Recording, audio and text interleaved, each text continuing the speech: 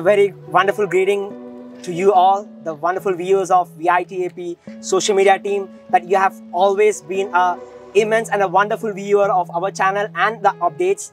And here we have here with a very wonderful update for you all. How about you guys thinking uh, for the commutation on the university campus? Have you ever thought like walking kilometers, like you know, day from one class to other class, from one building to other building? Isn't it too tough and isn't it too boring?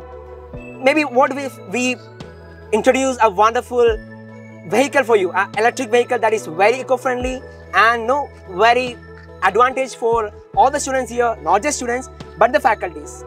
As you see here, we have a wonderful electric vehicle named Prayana and the founders, the team members, the developers of this wonderful electric vehicle that is here with us here today. So, good evening, sir. Good evening. Good evening, sir. Um, let me start. How did you get the name Prayana? What made you the name there? What suggests that? Anything very prominent with the product? Yes, of course, it's a uh, word from Prakriti's Prayana. So, Yana in the sense it's a vehicle, so it's a nature vehicle. Uh, so, Prayana is a nature vehicle. Okay, a vehicle that have evolved from you know that goes hand in hand with the environment. And um, so, what made you build uh, this uh, project? What was the uh, you know the idea, the inspiration for this such an innovative product? Yes. Uh, first of all, thank you for having us here today. Uh, this is our team uh, which are working on our e-bike. Um, uh, I'm uh, Dr. Ellison from Faculty of uh, Sense Department. He is my research scholar, uh, Ashok, and Shaira Banu. She is a UG student. So we are all uh, uh, actually we came uh, together to uh, work on this project. First of all, we thought about uh, the students' uh, problem that is walking long distance from one building to another building and that too in a hot weather like Vijayawada. So in order to facilitate the students and give them a good commuting option, we came up with this e-bike. And the main aim of this e-bike is to give a low cost e-bike. So we all know that nowadays e-bikes are very costly. So it is above uh, 1 lakh, 1.5 lakh and so on. And now we are giving this at around approximately 60,000. So that is the main feature of this e-bike. And uh, we want students and faculty alike to use this e-bike to commute between different buildings such that it will help them out. Not getting tired because there are there is only 10 minutes of gap between each class. So it will help you uh, guys out. So the main features, let me uh, just explain. The first thing is uh, we are using swappable batteries, uh, which is going to reduce charging time. So there is no waiting, zero waiting time for charging.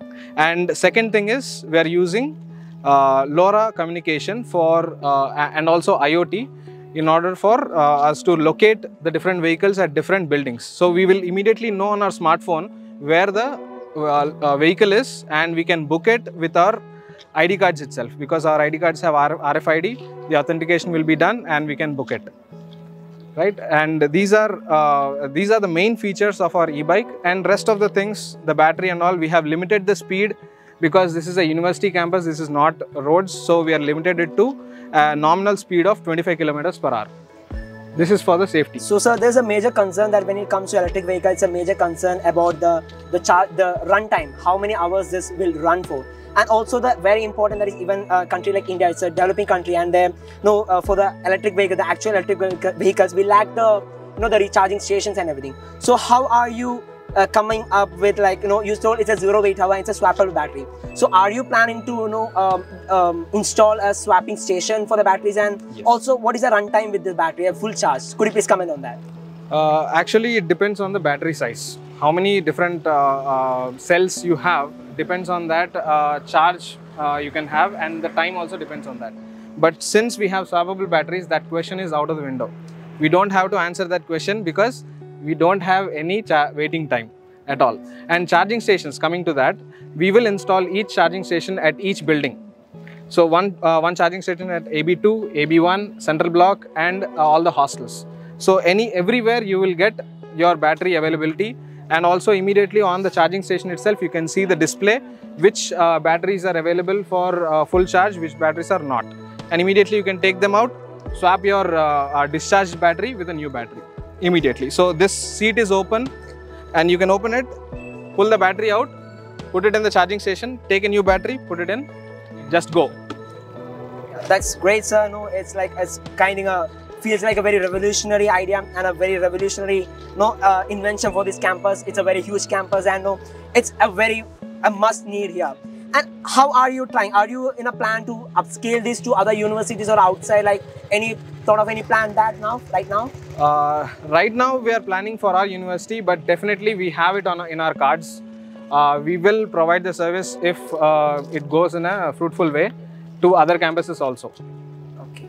Definitely. That was very that's just very innovative and it's like no, it's something that brings a smile on all, all our faces that we no more have to know once it's introduced, we no more have to walk from the camp from the buildings to buildings. It's like a, a very wonderful handy help that can come for us. It's very handy. And uh, thank you team. Uh, it's a, it was very wonderful interviewing you and you have to give, give us a very wonderful insight about the product.